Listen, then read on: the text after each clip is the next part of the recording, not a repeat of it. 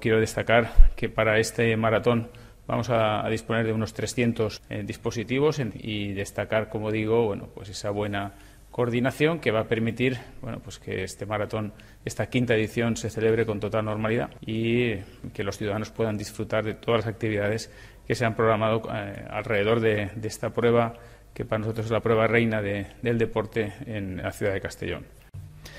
Por otra parte, también hemos estado hablando del tema del dispositivo para, el tema de las Navidades. Por parte conjunta hemos, hemos decidido, por parte concretamente del Cuerpo Nacional de Policía, de incrementar esa seguridad con efectivos a pie en las zonas comerciales, tanto en centro de la ciudad como en los centros comerciales, sin obviar obviamente el resto de la ciudad que también eh, debe tener su propia vigilancia.